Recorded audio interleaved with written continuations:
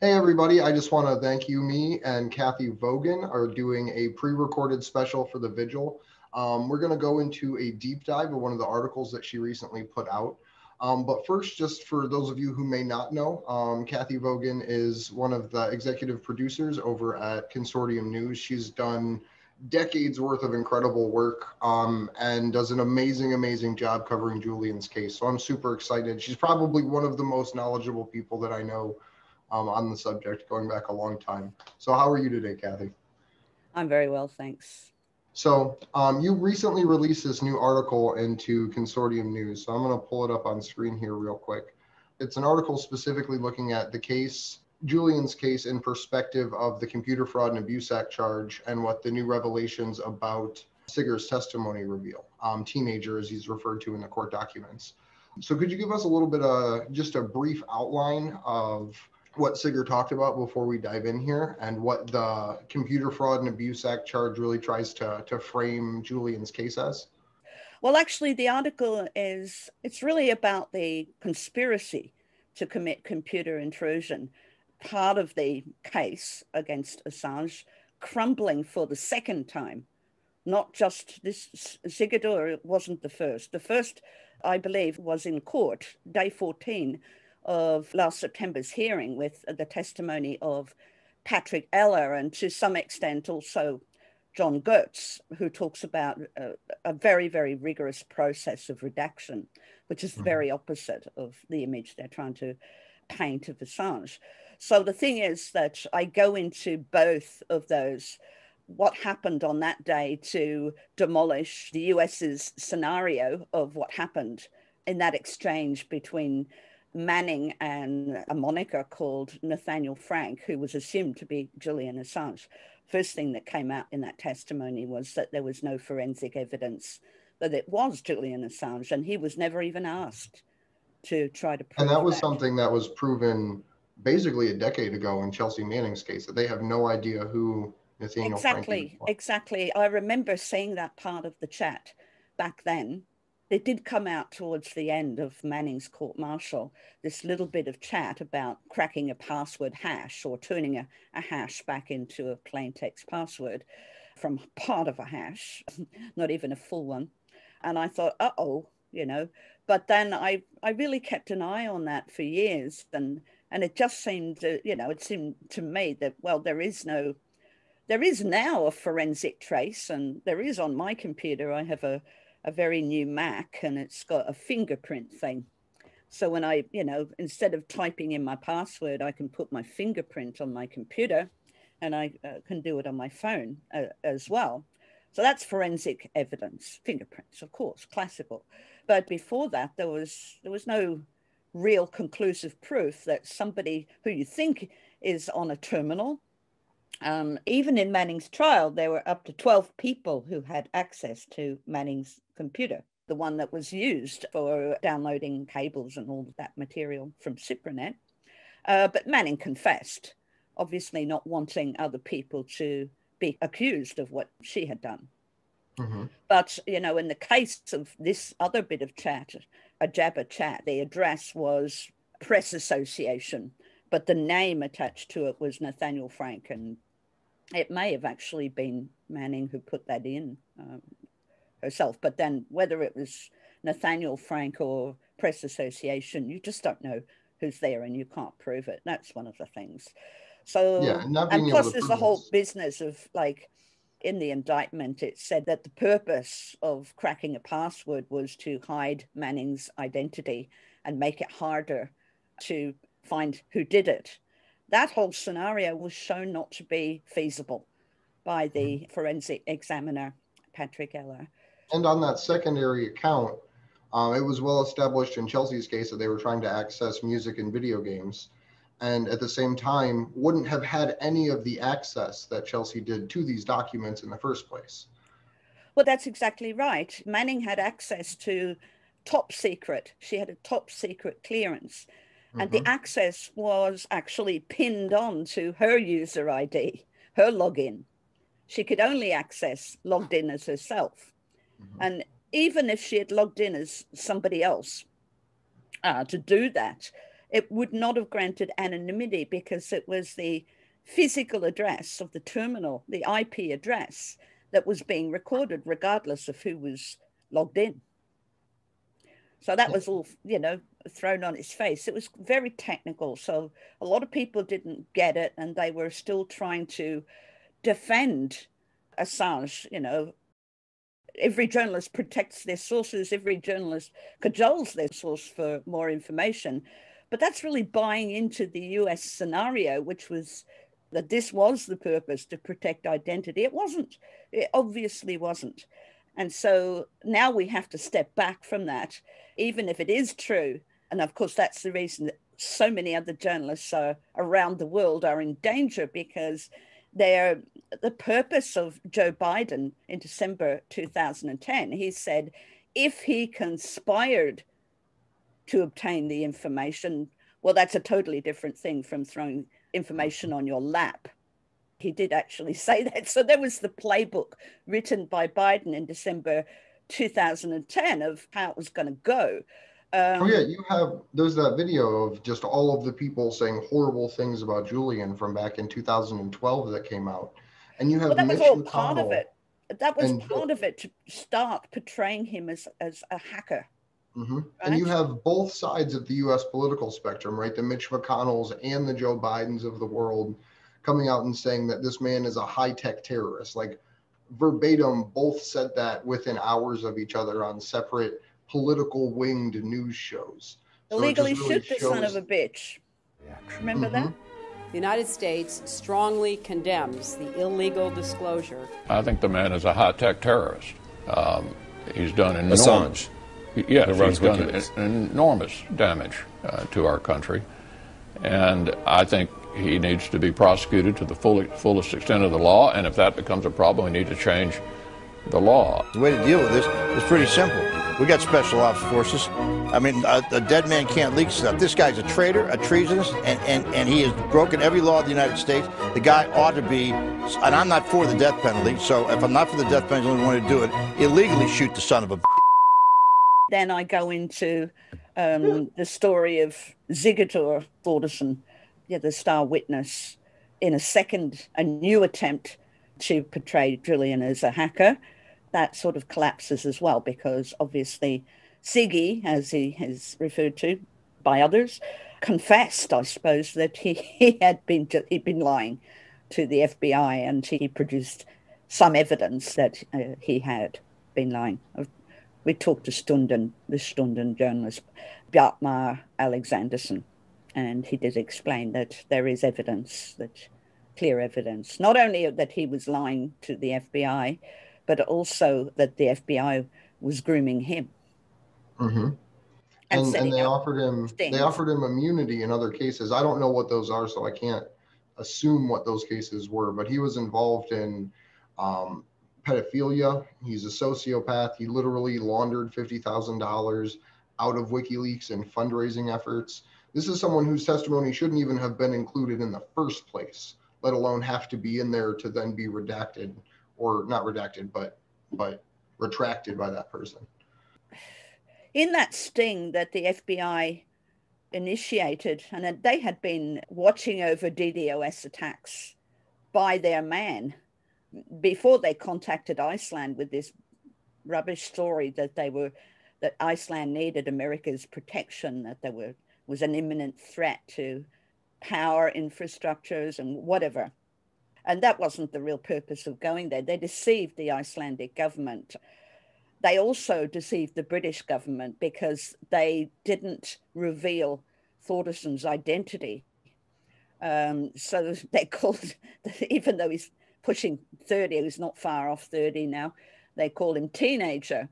Mm-hmm. And so the British court is unaware that they've got a convicted fraudster the pedophilia of you know nine underage boys, abuse of nine underage boys. It's terrible, but it, you know, the FBI would have said, well, that's got nothing to do with this case. Um, but it's the fraud thing. Kristinn Hrafnsson said that there were two dozen organizations, individuals and organizations that he had defrauded, he had got the money that he stole from WikiLeaks by forging Julian Assange's signature. I mean, this guy is famous for mm. being a conman.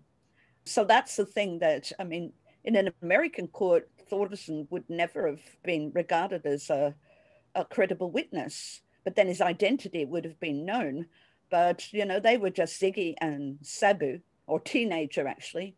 They didn't hmm. even use Siggy because that might have helped identify jigsaw identification by the court of who the, the goddamn witness is. No, oh, that's funny because that reminds me of Craig Murray, of course. Yeah. But I will, let me jump into this and please feel free to stop me at any time. Sure. So we have the Assange extradition, why the crumbling computer conspiracy case is so vital to the US. While most of the talk about Julian Assange's case is about the espionage charges, which are political in nature, the US case hangs on a thread for the second time on a non political charge conspiracy to commit computer intrusion. There is a reason why the computer charge is so vital to the US case.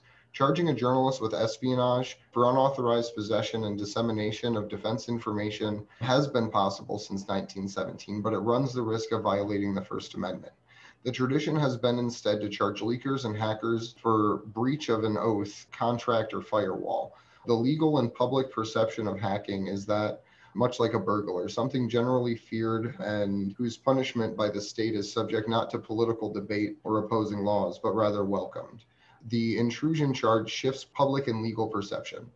Since the US is on shaky constitutional ground with an espionage indictment, the computer intrusion charge has served as a hook to try to get Assange by portraying him not as a journalist, but as a hacker. Underscoring the differences between the two is fundamental to the US case. That's why the US prosecutor James Lewis QC, on the opening day of Assange's extradition hearing in February 2020, turned to the press in the courtroom and told them journalism is not the target of the United States prosecution. He said Assange was not a journalist and instead had participated in the theft of government documents. In other words, he is not a journalist like you, but a hacker. This distinction is spelled out by none other than the current president of the United States. When as vice president in December of 2010, he told television interviewer David Gregory If he conspired to get these classified documents with a member of the U.S. military, that's fundamentally different than if somebody drops on your lap, here, David, you're a press person, here is uh, classified material. Declined to indict. Unable to come up with that proof, the Obama Biden administration declined to indict Julian Assange in 2011. The New York Times had published many of the same WikiLeaks documents that Assange had, so logically, the Times would be just as guilty of violating the Espionage Act. Indicting Assange and the Times would be a clear conflict with the First Amendment.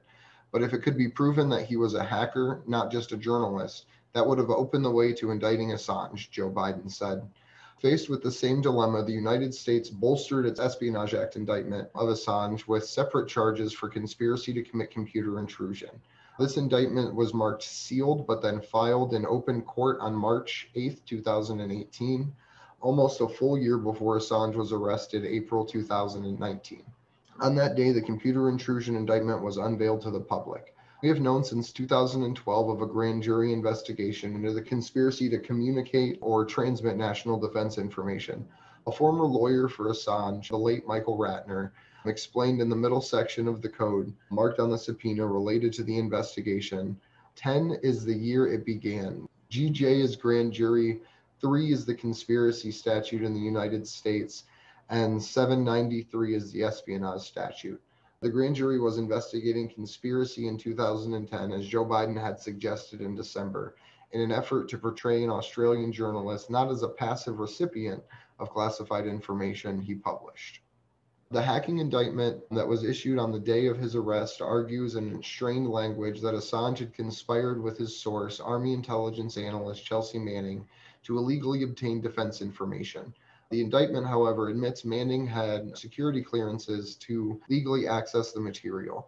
The charge of conspiracy with Manning hangs solely on evidence that appears at Manning's court martial, a chat log between nobody, Manning, and someone with the moniker Nathaniel Frank. That Manning was seeking to help with a password hash from Frank has been held up as evidence of conspiracy. In the computer intrusion indictment of Assange, the U.S. claims Cracking the password would have allowed Manning to log into the computers under a username that did not belong to her. Such a measure would have made it difficult for investigators to identify Manning as the source of the disclosed classified information.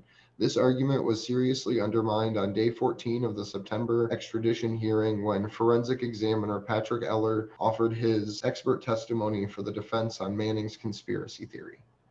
Do you want to talk to, to what he had said there and kind of how that pulled in? Because there was a few other witnesses throughout the court trial that also talked to, to similar things.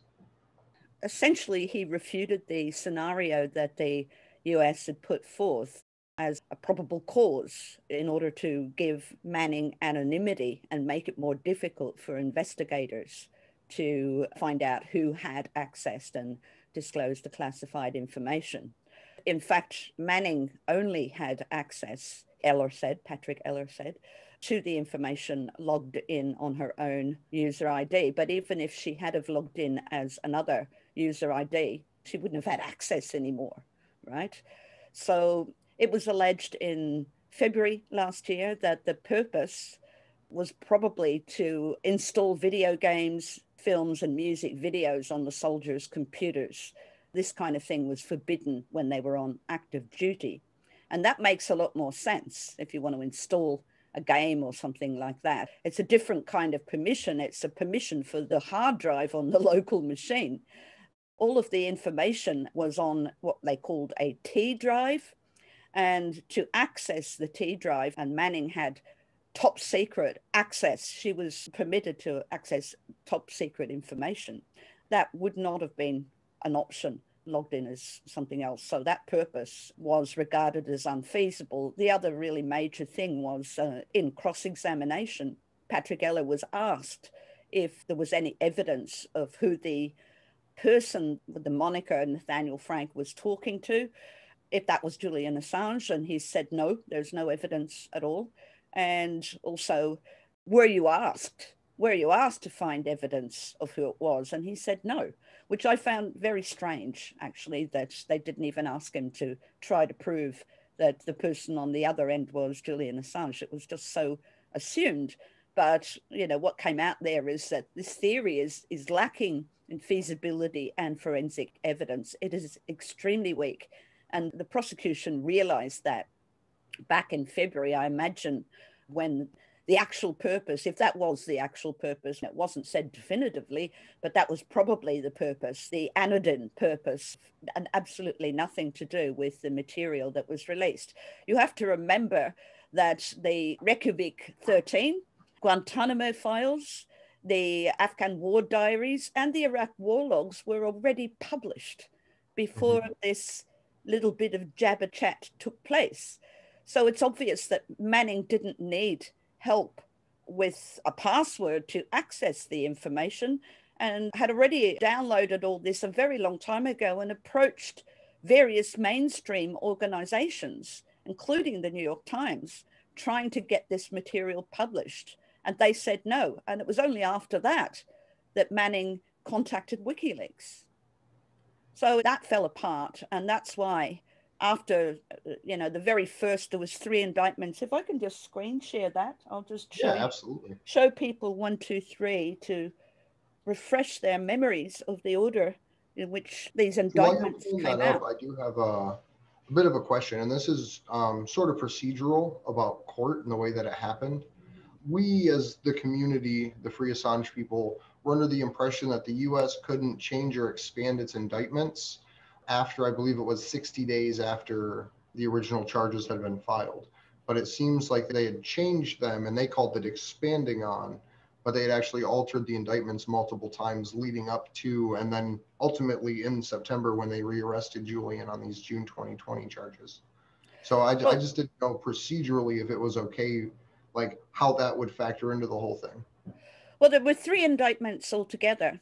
Mm-hmm. And this first one that I've got up, look, it was sealed uh, on March 6th, 2018, right? So that's a long time. That's over a year before Assange was actually arrested.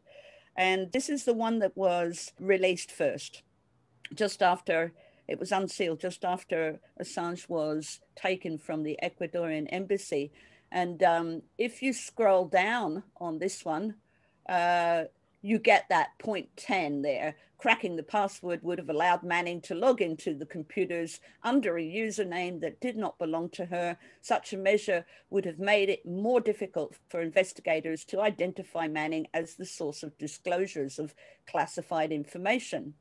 So that's the part that Patrick Eller just uh, demolishes, basically. It's this process could never have been followed to obtain classified information. And of course, Manning knew to some extent that she was going to be caught, right? Because the IP address of the computer, they Even could figure out which computer and then who was on shift. And then Manning just said, well, it was me. Yeah, if you just read line 11, right? Prior to the formation of the password cracking agreement, Manning had already provided WikiLeaks with hundreds of thousands of classified records that she had downloaded from the department and agencies of the United States, including the Afghan related significant activity reports and the Iraq war related significant activity reports. yeah, well, it's so, even there in the right, indictment. even in their own freaking indictment directly. yeah, there's, there's, yeah, of course, of course, this uh, totally um, the way they put it, though, mm-hmm. I mean, mm-hmm. the way I said it before, that sort of seems to imply that Manning didn't uh, have any communications with Assange at all for the majority of these disclosures.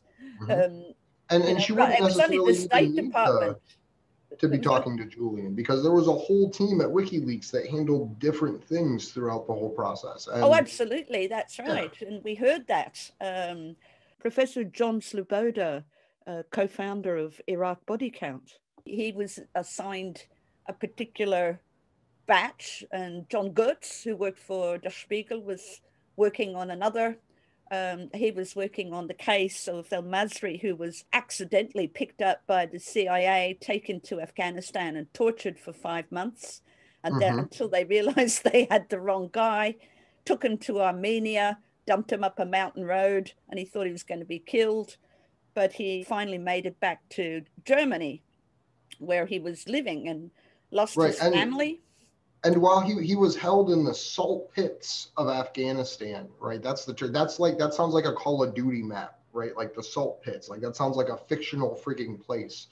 And just because the case of Mohammed Al Masri just really fucking bothers me because this guy was literally just a dad on vacation right? He tried to do a hunger strike because he knew he wasn't involved in anything and torture shouldn't happen even if you are someone that opposes a separate state. So he was literally forced, I believe, into like rectal feeding.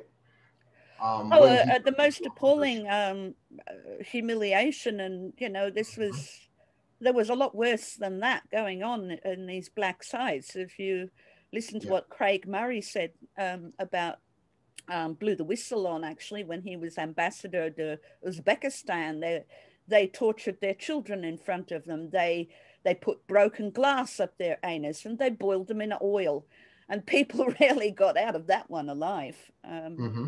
And how they had set up all these Uzbeki citizens who were Uzbekistan imprisons its citizens. They're not allowed to go across the border into other countries, you know, and all these people signing confessions that they had been in camps in Afghanistan, you know, with bin Laden. Um, and it was just confessions obtained under torture, which everybody knows are uh, very unreliable, notoriously unreliable.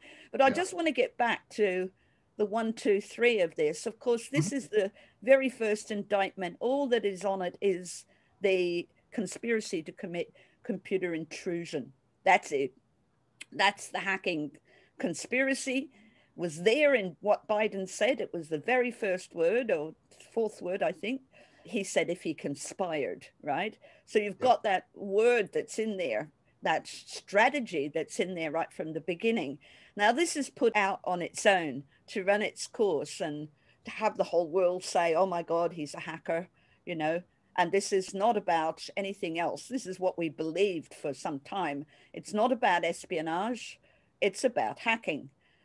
Number two, which followed this one, that's where it's actually um, count one now conspiracy to receive national defense information. So that's incorporated now with all of the espionage charges. mm-hmm. uh, when they run into trouble with this, you know, password hash when it's shown to be um, rubbish, and they know that in advance, then number three comes out.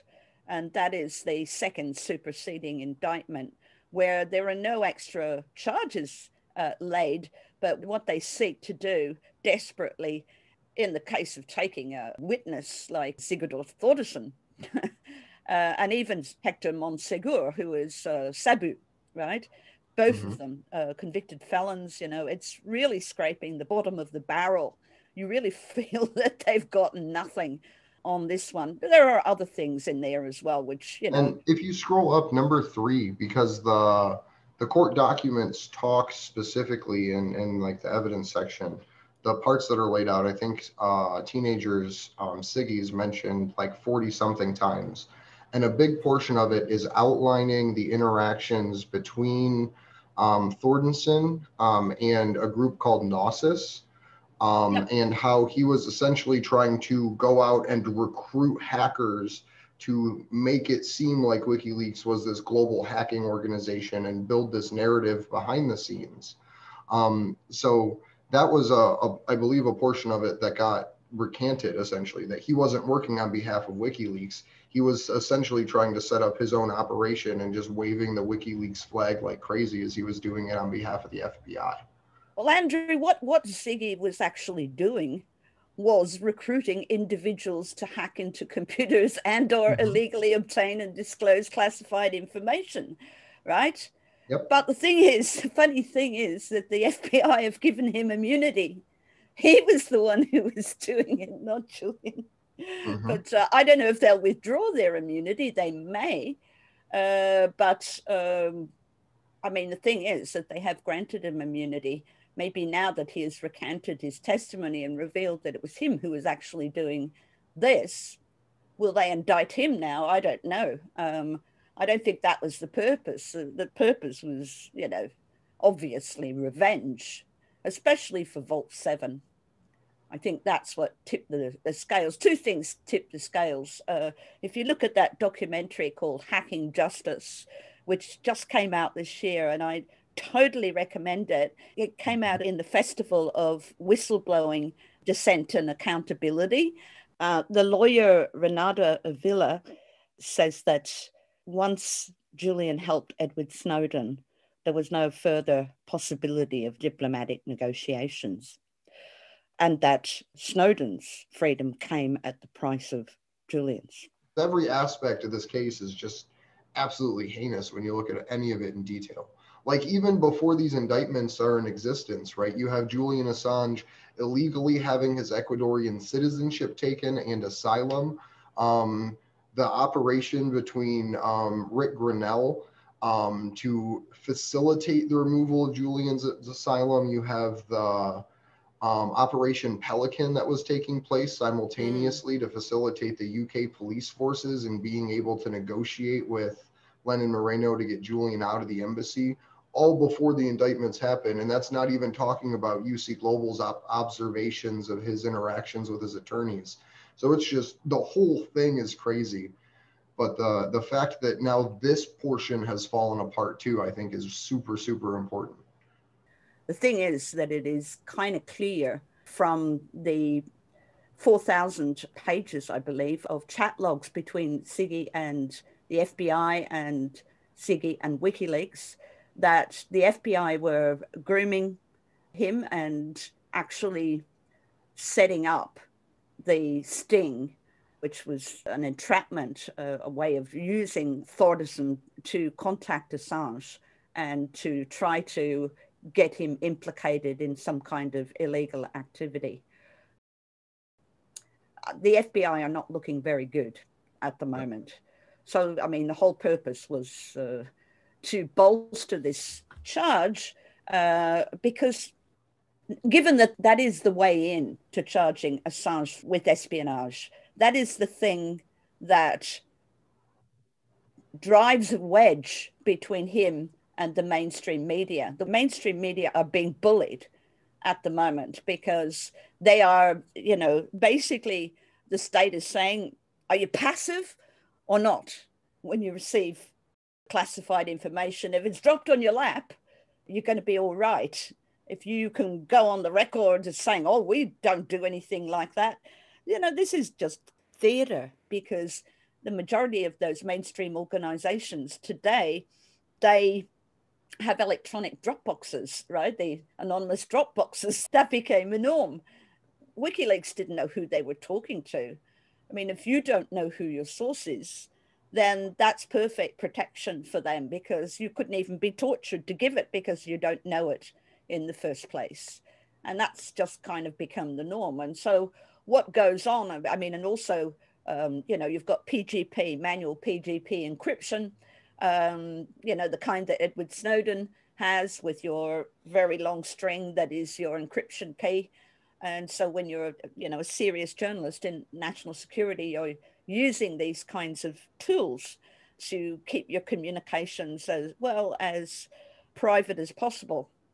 And of course, then you still have to take lots of precaution that you don't accidentally click on a, a link that is pretending that it's something else, but it's not like in the spy files, WikiLeaks spy files in 2011, they had revealed that there was a fake iTunes update. Well, with you know? the new release about Project Pegasus, right? Not it's not like it's new software, but it's a zero click. So all they have to do is send it to you and they're into your phone without That's you right. even knowing anymore. So That's they don't right. even have to do the screen share bullshit. They literally just hit you with Pegasus and they can just get into your device, even on the newest iOS platforms. Well, that's right. It's come a long way. Um, mm-hmm. You know, that technology was there uh, in 2011, but it required a, your consent. Uh, do you want me to jump back into the article? Uh, yes, uh, let's do that. And uh, I think maybe that's all I've got to say about this. That all of this was bolstering the notion that Assange was a hacker, uh, because otherwise, if that charge disappears, well, that's coming up at the end of the the article. If we can knock this one out of the water, then he's in exactly the same position as all the other media partners who published the material. So Eller said U.S. couldn't prove, nor was he asked to prove that the moniker Manning was conversing with was Assange. And Manning's top secret access was only permitted on her login for which she had the password. Logging in as another user meant she would have been locked out, nor would logging in as another user given Manning anonymity, as the government alleges, since the physical IP address of the terminal was recorded, regardless of who was logging in. From the Manning court martial, it emerged that the government knew who was on the shift at the time in light of Eller's testimony, the U.S. scenario of Assange's conspiracy with Manning has shown to be unfeasible. The U.S. has heard early from the defense in February 2020 that Manning's purpose was probably to install video games, films, and music videos on the lad's computers, which were forbidden for those on active duty. Eller testified to the same. By the time of the chat, Manning had already passed the Iraq and Afghan war diaries and the Guantanamo Bay files to WikiLeaks further undermining the U.S. case that Assange had anything to do with Manning's actions. At her court martial, she also testified that she had acted completely alone. According to what Biden said in 2011, it is imperative for the U.S. to keep alive the apparently minor computer charge that carries the maximum of five years in prison compared to the 170 years of the Espionage Act charges. But it isn't minor. Um, it is the hook that enables the charges of espionage. It smears Assange and it drives a wedge between him and the support of an increasingly nervous mainstream media. The second superseding indictment. In June of 2020, the Trump Justice Department, apparently unsure of the computer intrusion charges in relation to Manning, was strong enough to portray Assange as a hacker, issued a second superseding indictment that relied on testimony of a WikiLeaks volunteer and later FBI informant who said Assange had directed him to conduct hacking operations. This evidence was apparently obtained by the FBI in 2011 when the witness was one of its informants. But this was not revisited until the Trump DOJ offered the witness immunity sometime in 2019, likely after the April 2019 issuing of the first computer indictment, which did not contain his testimony. It appears in the second superseding indictment in June 2020. That evidence did not appear in the first superseding indictment might indicate the unreliability because the key witness has now recanted the testimony in an interview last month in an Icelandic publication, Stundin. Theodore Sorensen's testimony mentioned 22 times without question in the magistrate's January 4th ruling against extraditing Assange, which the US is now appealing. The UK court was not made aware of the identity and criminal history of the witness referred to as teenager in the second superseding indictment.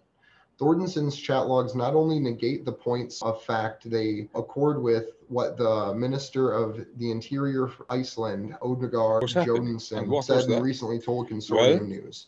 They were in Iceland to try to frame WikiLeaks and Julian Assange in particular. Now, these are serious allegations, but I choose my words very, very carefully because I knew this from firsthand from within the Icelandic administration. They were told that the, the idea was to use Sigurður, an Icelandic citizen, Sigurður Ingi Þórðarsson, as an entrapment to contact Julian Assange and involve him in a, in a, a, criminal case to be used later in the in the United States.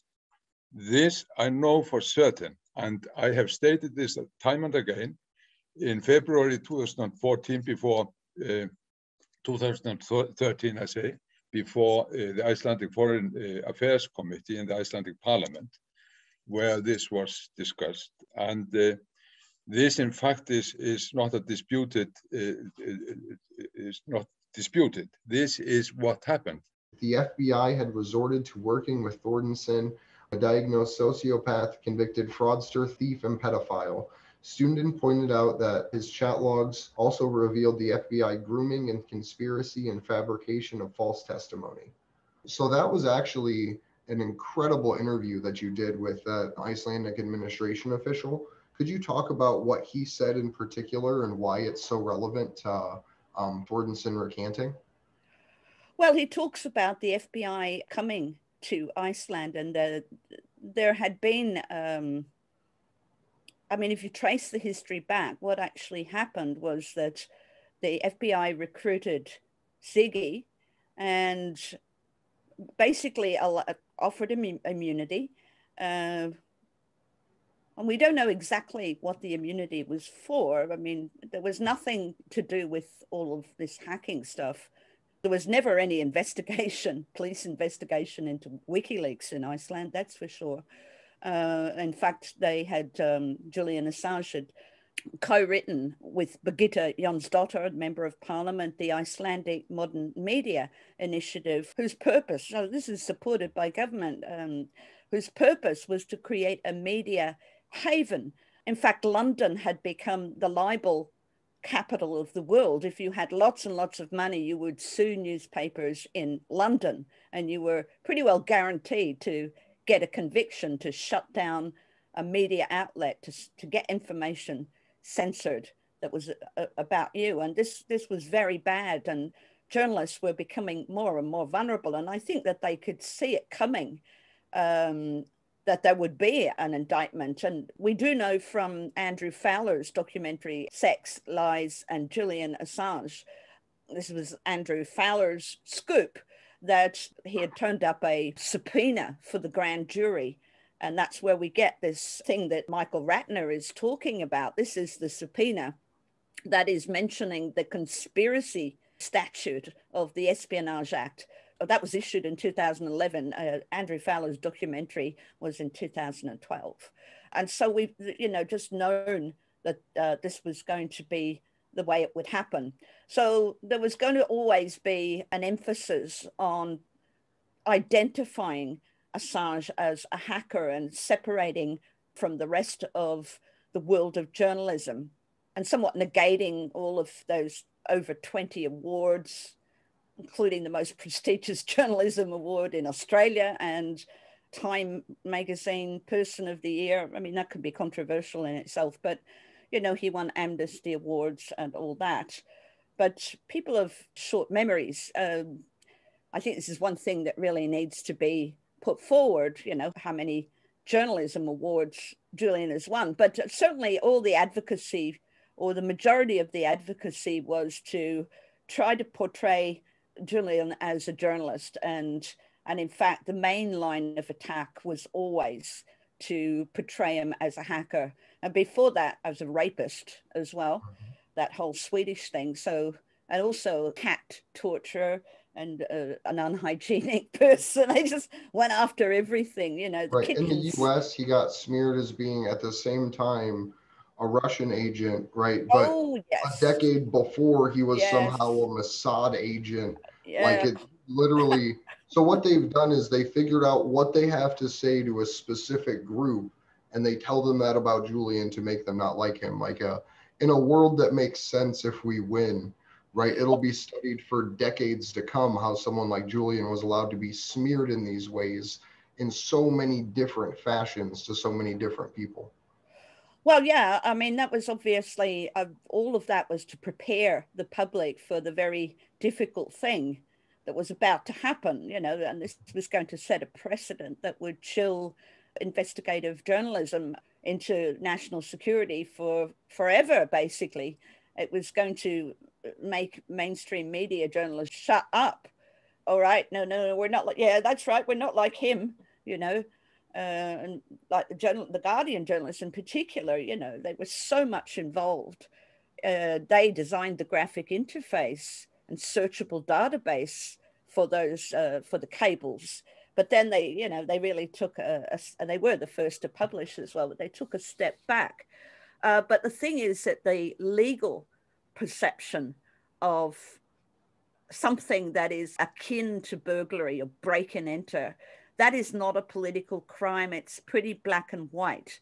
And that part that came out first, that tried to run its course as he's a hacker and all that, that was really the most essential aspect to the case, as far as I'm concerned. It was there from day one. It was there in the subpoena that mentions conspiracy, and it was there in the very first indictment of those three indictments that came out. There's the one, the computer fraud and abuse type charge, and then there was the first and then the second superseding indictment. But you can see this thread of it's about Assange's identity, right? Mm. But it's also a breach when I said or firewall, not just oath or contract. And that's something that, that a lot of the, the debate has been about, you know, like Manning's oath and but your oath is to protect your country. And people get into those tributaries of argument. But the thing is that the legal perception of breaking and entering is such that that is going to open up the door. It is the hook in fact whereby then they can pass on to the espionage charges. Because without them assange is sitting pretty like all of the other journalists, mainstream journalists, and media partners in particular, who are still, I think, fairly strongly protected by the tradition of the First Amendment. I mean, the Espionage Act has its tradition as well, where it has been possible to prosecute journalists after printing. No prior restraint is allowed, but after publication, it was always there, but they never went there the tradition was always just to go for the leakers and whistleblowers because they had breached something and it was kind of easy, right? But you can also talk about breaching a firewall, which is like breaking in and entering, and then you you enter into that fear center of a lot of people. You know, we're frightened of our homes uh, uh being broken into, particularly um, if you look at the ocean uh, personality scale um, or set of scales. You know, you've got the neurotic people who score high, which is a large percentage of the population that are very much targeted traditionally by the right in their campaigning, targeting fear. Well, then, you know, you've got that as well as a deep psychological response to this notion of this guy, you know, breaking in. And then there was so many distortions. We, uh, Julian Assange always and WikiLeaks always ad- advocated um, transparency for government and privacy for individuals. But somehow that got twisted around where a lot of people thought that Assange, yeah, I think even in The Simpsons, um, that Assange was going to break in and read their emails and look at the dick pics and that kind of thing. You know, that there were no dick pics at the time. But that kind of uh, thing was going on where, you know, he was portrayed as somebody who violated uh, people's privacy, and so discussions got into privacy. Um, there was other distortions that a lot of people made inadvertently, like Russell Brand just recently. He meant well, but he called Julian a hacker. Um, I mean, hello, he was actually trying to describe his nerdy personality, but to come out with a word like that, it was just. Uh, I had, you know, I had actually some of the other uh, to yeah, try to get him to do an interview with us. So, like, well, the other thing that was that that Russell was arguing against censorship, and he didn't. Not once did the moral dimension, nor the specificity of the particular publications of WikiLeaks. Joe keeps teasing me about this, but I keep bringing up Executive Order 13526, Section 1.7, it's Obama's 2009 law about it's illegal to classify information that is going to hide the evidence of crime or simply save embarrassment. And Ellsberg would add uh, protect people's jobs. The thing with, with Russell, what he was arguing for was there shouldn't be any censorship at all. And in fact, he didn't draw attention to the fact that, uh, well, in fact, he got it totally wrong because neither Julian nor WikiLeaks thinks that there should be no secrets. Of course, we all do, that there should be things that are, you know, for a certain amount of time. Uh, the, the study that Ellsberg, when I interviewed him about this, he was talking about a study that Stephen Aftergood had done. And uh, he was working with William F. Florence, who had retired now, but he was working in the classification system. And so he was one of the people that decided what level of classification should go on any particular piece of information. And he found that it was only one half of 1% still needed to be classified today. So 99.5% of what is classified is doesn't even need to be for mm-hmm. national security reasons, right? According to the guy who used to do that for most of his life. Uh, he, he did that survey. So that's very telling in a way of how much, uh, and that was a point that was made by the defense in the Pentagon Papers case for Daniel Ellsberg that far too much was classified anyway, but it never really held water, that argument. But the thing is, it is a million billion times worse today. But in that little category uh, of things that were illegally classified because they were war crimes, because they hid other kinds of crime and, and uh, you know, also saved embarrassment. Uh, you can imagine that in the State Department cables, a lot of them. Uh, you really have to talk about just that stuff. WikiLeaks always said the method is transparency, the goal is justice. John mm-hmm. Pilger said that that's Julian nailed his uh, colors to the mast. It was to be about justice. And so this is wrongdoing. He didn't actually, Russell didn't mention that it was wrongdoing that should be exposed, you know. Yeah. Uh, he presented a much more extreme attitude. Oh, yeah, everybody should have the right to know everything that's going on. You know, um, I'm sorry, but, you know, he, did, he said some very, very good things as well, but that was really misrepresentative of what this movement is about. It's about justice. Well, I think that that it more represents like what is when someone starts to peel back the first few layers, what they see in Julian's case, because we have such a such a deep view of it, and you in particular, because you've been involved in it so long. Um, but I, I think he gives a, at least, in my opinion, like almost like a vulgar or unindoctrinated or what, whatever term you would want to use um, view of it. Because from the outside that's the easiest argument to explain to people is that hey this is this is attacking free speech and this is censorship. Because it's it's in it's in the nuance where you find it's it's the important part. It's the meat of what's holding all this together the hook as you call it. But for the for the layman for the the couch political person um, it's really uh, it's hard to explain that deeper nuance when they haven't even been able to digest the fact that the government's committed these crimes, let alone the fact that someone needed to expose them. Well, I think that um, you know everybody can understand it in terms of drowning. That mm-hmm. uh, it's gone down twice. yeah, it may go down a, a third time, like Sweden. it may be, you know, you've got to hit them three times to uh, to end it. Uh, but it's just so much work, so much money, and so much time that this poor man has been. You know, it really is like Sam's that he's living through oh, yeah. the, in Belmarsh. Because yeah, Pilger said there's not much difference. There really, it really isn't it. And, and before that, he was in the Ecuadorian embassy, which Pilger called Room 101 coming from um, 1984, which was the interrogation room, right? Uh, that everybody feared.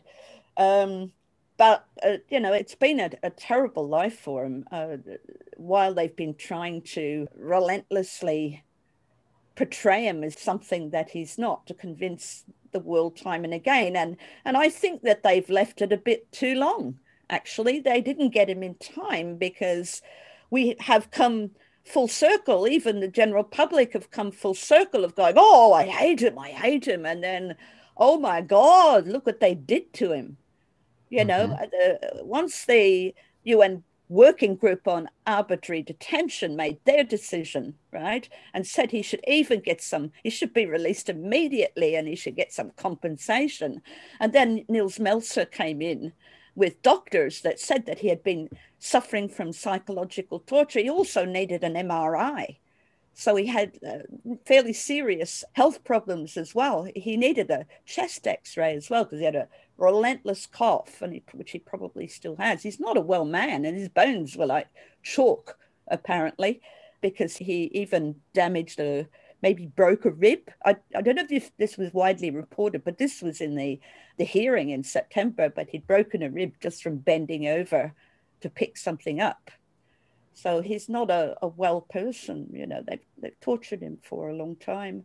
But the thing is that what's, it's now completely turning around because the things that they're accusing Assange of are now being revealed as things that they were doing, that the CIA was doing, that, you know, illegally intruded into the Ecuadorian embassy to spy on privileged legal conversations with the defense. I mean, my God, that is incredible, but also um, in inciting people to hack. Mm-hmm. I mean, the FBI are inciting Siggy to hack. You see what I mean? Well, that's, it's that's not super predictable behavior by the FBI, right?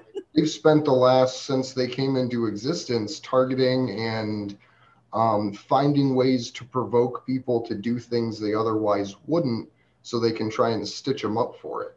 Um, yeah. And and you actually see a lot of similarities in the way that um, Siggy interacted with Julian to the way that say maybe Guccifer two interacted mm-hmm. with Julian. If you read those chat logs from the um, not from the Mueller report, but from the release that came out about Roger Stone and um, his communications with Julian. They also had the Guccifer chat logs and you can literally the Guccifer 2 chat logs, and you can literally see a lot of the same patterns where you have someone trying to essentially um, ramp Julian up to do something that would get him in violation of um, some law or publish something that would be otherwise incorrect.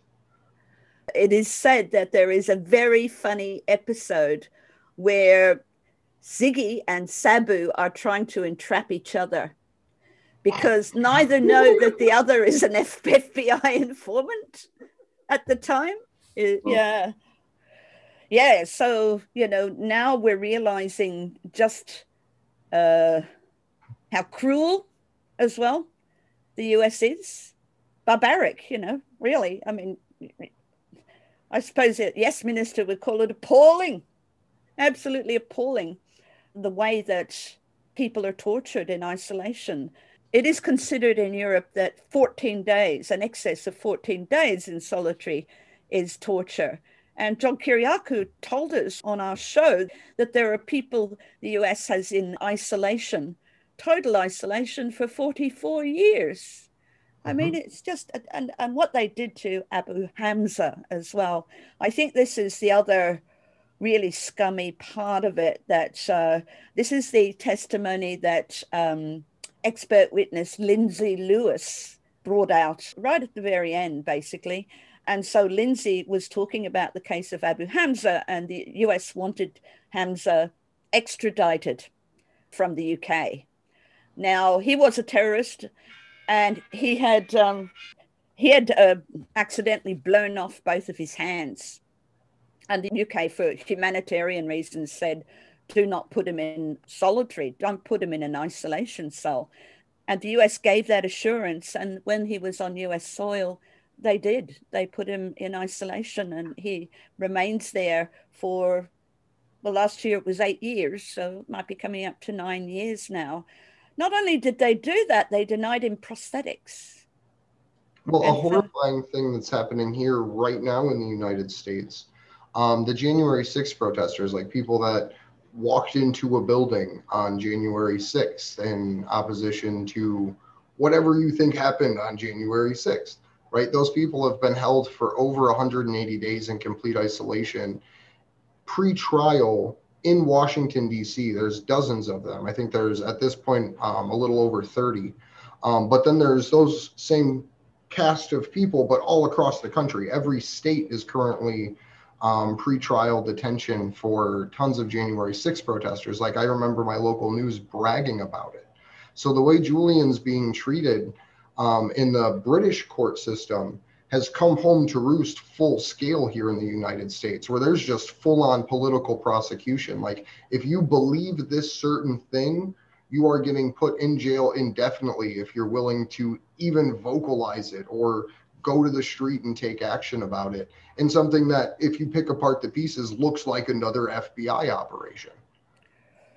Well, I, am not uh, terribly sure about the background of that, but, it's mm-hmm. certainly whatever you think about those people, it's it's certainly not the place to put a journalist because of their ideas. Um, Absolutely. Do you want to get back? I think there's like three slides left. Do you want to get back into Yeah, them? sure. Cool. Back to Biden. During Assange's hearing last September, after numerous defense witnesses piled on evidence that indeed Assange was engaging in journalistic activity, Prosecutor Lewis changed course and ultimately admitted to the court that yes, he may have been practicing journalism, but the Espionage Act doesn't make a distinction for journalists. Assange had unauthorized possession and dissemination of defense information, and that was that. With the recanting of Thordarson's testimony and the weakness of the conspiracy allegation with Manning, the United States is back to what Biden said when he was vice president that Assange is a journalist who was merely doing his job by receiving state secrets pretty much in his lap. If Assange is extradited to stand trial in the United States, what would happen if the computer intrusion charge collapses? It would leave the US with only the political charge and Assange in the same legal state as other publishers of the same material protected by the First Amendment. So that is the article put out by Cathy in its full glory. But yeah, do you have any um, additional like final thoughts about all this or related um, information? Well, uh, the first thing I was going to say while you were reading it was just a little more detail on when the first day of the September hearing, when James Lewis, QC, astonishingly addressed the press instead of the court and told them this isn't about you. This guy, you know, was involved in stealing government documents, not about you. And I think the US predicted that they would bugger off. They've got their story, right? And they did. And in the afternoon, they were all gone. And that's when Lewis actually admitted yes, every journalist is vulnerable. And they didn't hear it. Mm-hmm. Uh, the second thing that I would like to say, as sort of like the looking forward kind of thing, is I wonder if the US will try again. It's a little bit late in the game because now, I mean, it's impossible to bring in new evidence in the UK.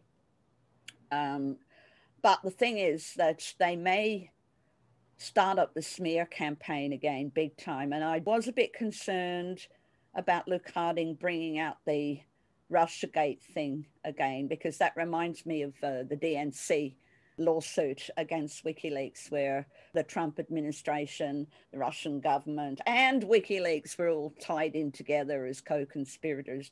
And that one just got thrown out of court.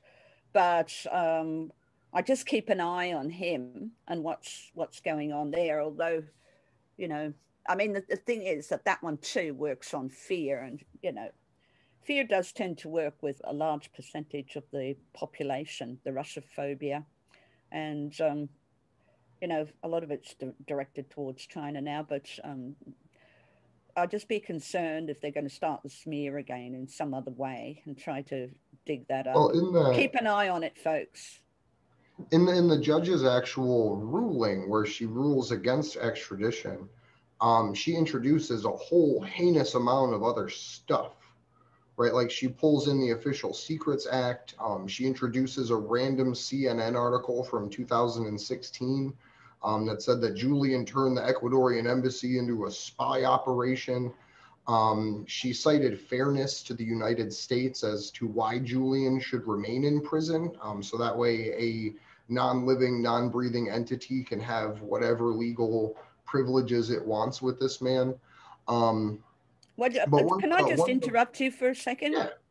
Um, because um, the whole purpose of that part of, um, you know, all those other instances, the whole purpose of, of the uh, conspiracy charge was was absolutely parallel in England. What needed to be done, what, what she needed to do was establish whether there was dual criminality mhm. uh, in in relation to the Official Secrets Act, and so all of these hacking, breaching sort of things would actually find parallels in the Official Secrets Act. So it was also very important. That was that was a very very big part of getting all those things in. Sorry, I didn't want to interrupt you, but No, I just, no, I appreciate it. I enjoy. we'd go off on a tangent otherwise. Yeah. Well, the, the reason I bring it up is because if you look at the global intelligence files that we, we were talking about um, earlier, their plan that they've been working on for the last decade, um, almost 11 years, if not 11 years at this point, is to drag Julian from legal system to legal system and country to country. So if they're allowed to use the Assange precedent at this point, the UK will get their turn, and then Macron can get his turn, and they can just pass around international jurisdictions and if if that's the the course that humanity takes at this point so that's that's what i'm afraid of is we may beat this espionage act charge and the computer fraud and abuse act charge um, but we may not be able to then organize ourselves in a way to beat the charge that the government in turkey puts out about the information or israel puts out because Mm. all of a sudden it becomes anti-semitic right Yeah. um but well, look, uh, what you're talking about is the other part of the playbook, right the plan B, I guess, in a way. So uh, you're talking about uh, what's in the Stratfor um, Mhm. emails and uh, Fred Burton uh, talking about passing him around from country to country, from one charge to the another, and that's really that really uh, fits with the with the cable that was sent, you know, to various um, allies asking to charge him with something. And we even had the Prime Minister of Australia saying it was a criminal act, and she's a lawyer, and there was pushback from the Australian Federal Police. Ten days later, they said, "No, he didn't break any crime in this country." Um, so the thing is that there's that, and then there, you know, they were wrong about he'll make a nice bride in prison. Um, as that didn't happen. Uh, I think there's been a lot of solidarity from the other prisoners in Belmarsh, um, you Mhm. know, and they really, I think they they got up a petition to get him out of the medical wing.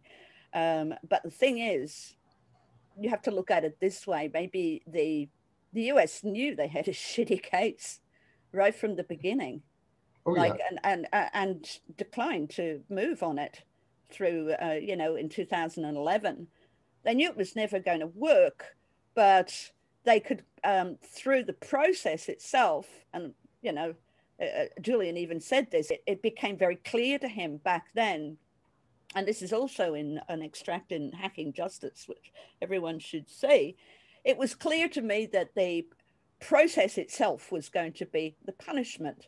That, you know, they probably knew that, well, Wiki, Sigurdur wasn't a credible witness. They knew that.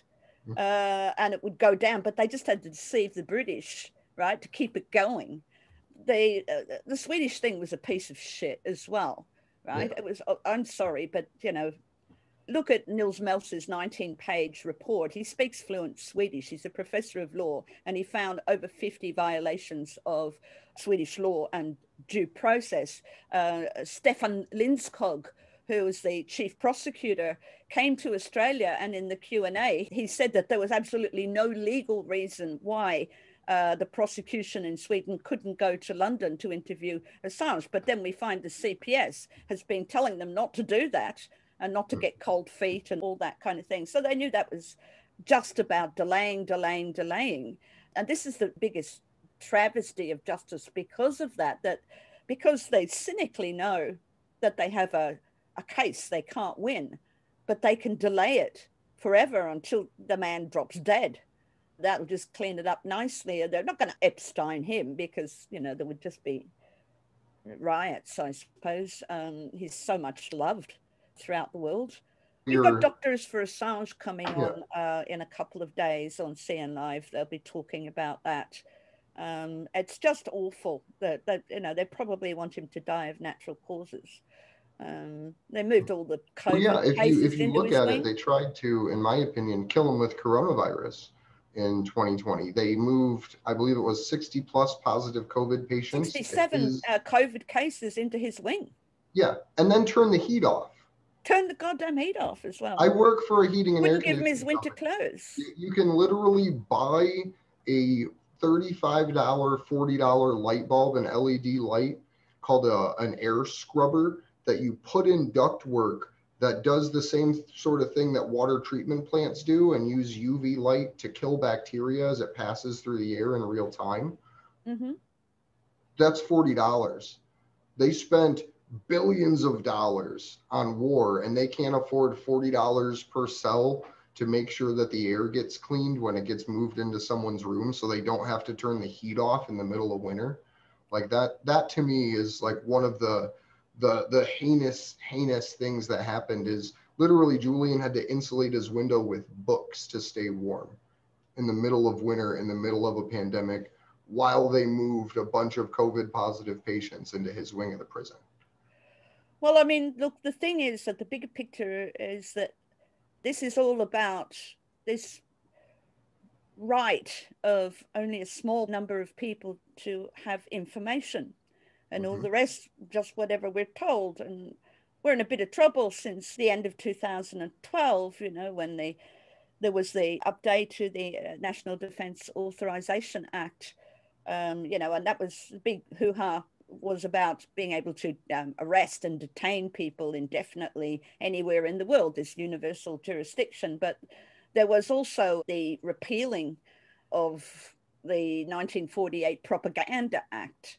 Mm-hmm. Um, you know, after the Second World War, American was not allowed to propagandize its people, but but that was repealed, and so starting 2013, we got the, the age of narrative, you know, big time and yep. just getting more blatant in the crazy lies. Um, but you know, the, the whole thing is about if information is power, then of course, um, you know, they know a lot about us and we know very little about them. That's kind of going back to that old British Empire, you know, it, it really is. Uh, and of course, the Espionage Act is, takes its origins in the early version of the Official Secrets Act. It's got much of the same wording, just differences later. But uh, and even the 1914 Crimes Act in Australia is from the same origin as well. It's it's the British, you know.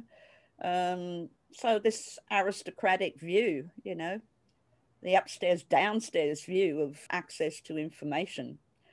Um, and um, we, this... we do have to be careful about some information but we absolutely do.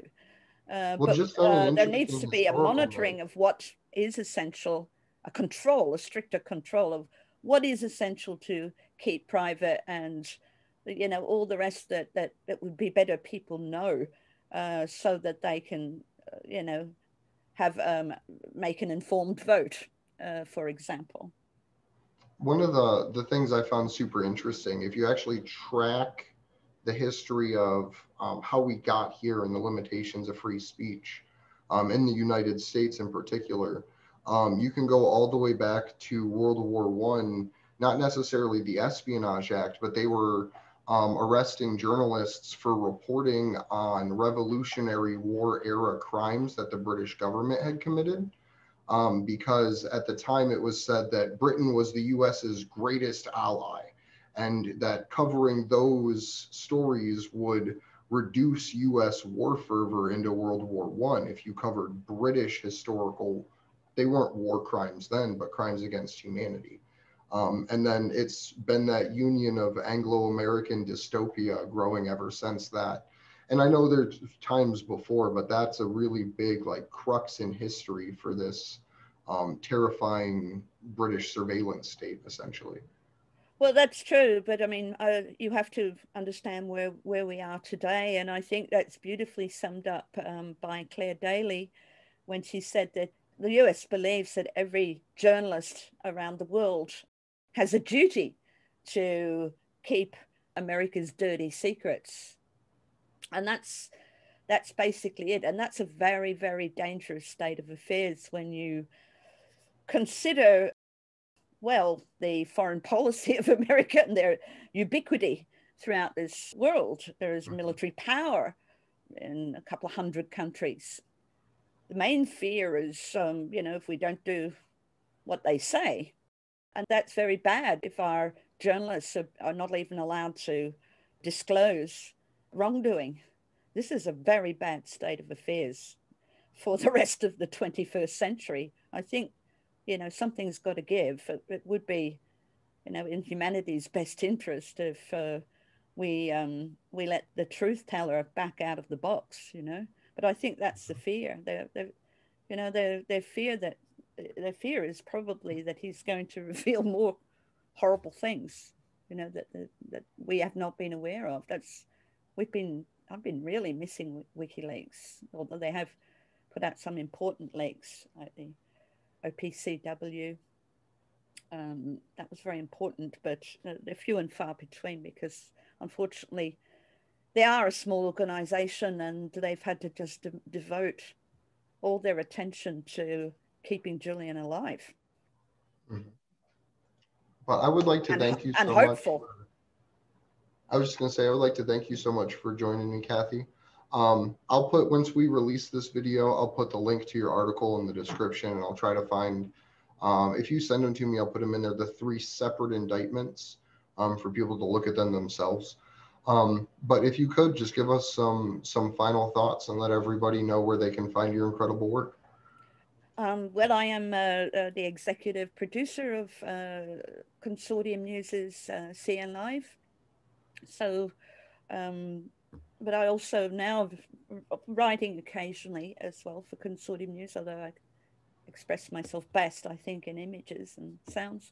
Uh, that's where I have the most experience. But you, I mean, I thoroughly recommend that you go to consortium news for all new news um, because some of the best writers in the world really uh, very well informed people. And uh, joe does a terrific job of uh, fact checking he really does behind the scenes and uh, so does corinna who's an assistant editor. Um, and then uh, you'll see a link on the website for watch CN Live. It's a little bit down at the moment because we're, we're doing our um, summer fund drive. Um, we rely entirely on uh, uh, reader donations and viewer donations now. Um, we have no paywall, which I'm sure a lot of people find um, really a relief because they're everywhere now. You know, mm-hmm. the good, the bad, and the ugly are putting up paywalls, but maybe that's kind of a good opportunity for independent media.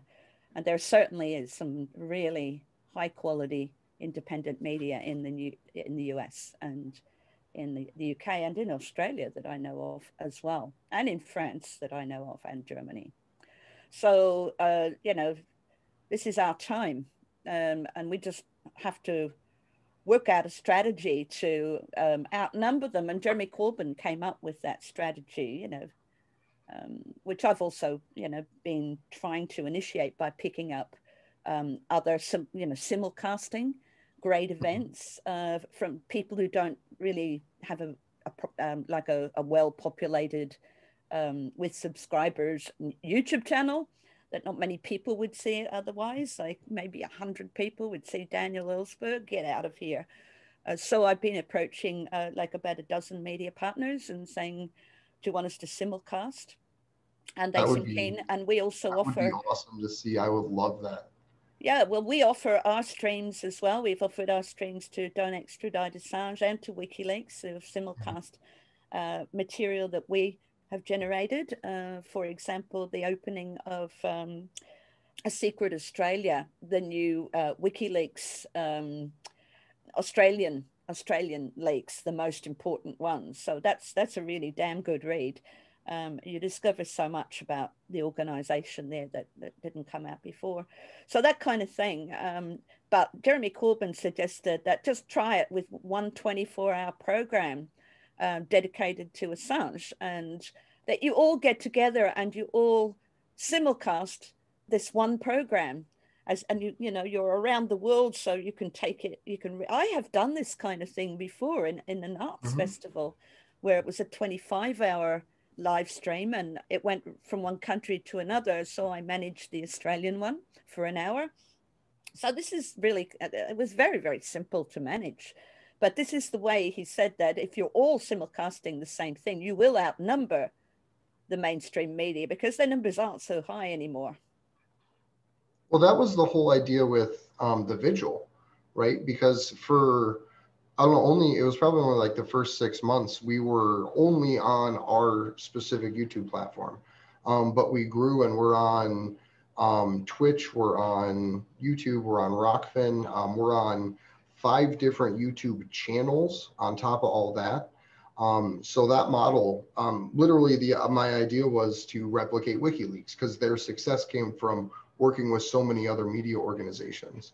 So seeing you guys um, offer that is freaking incredible because that's something that one, it gets independent media creators additional content that they don't have to produce, but at the same time, it gets your guys' message out there in a way that is essentially almost like narrative control, being able to push from so many places at one time to so many different well, types of people. The thing is, when I I um, started looking after the the channel, the Consortium News channel, I thought that uh, what I tried to do was to follow the model of Bob Parry and form a consortium, right? So it, it's not just being generated by us, but we can bring in other, like we bring in other journalists onto the written platform that we we could do that as well in the on the channel as well. So um, it just seemed to me that this is the way it has to go. I mean, people are coming from mainstream media, um, and I'm coming from broadcast as well as uh, you know an academic uh, background. Um, a lot of them still have this competitive reflex.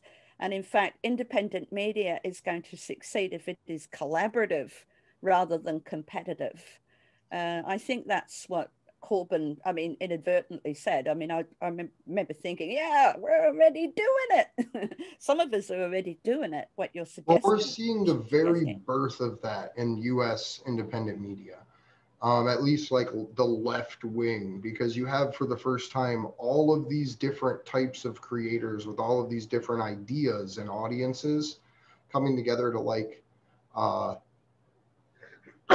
sorry, that was terrifying coming together to, to root out the pro-war voices that pretend to be independent media. So I think that that's a, a really cool development in moving that collaborative bar forward. Um, so I just I think that that's super impressive um, to see people independently doing things like this, even if they don't realize that that's what they're doing. Yeah, that's right. Uh, united we stand, or something, isn't it? but thank you so much, Cathy. All right, mate. Lovely to talk to you.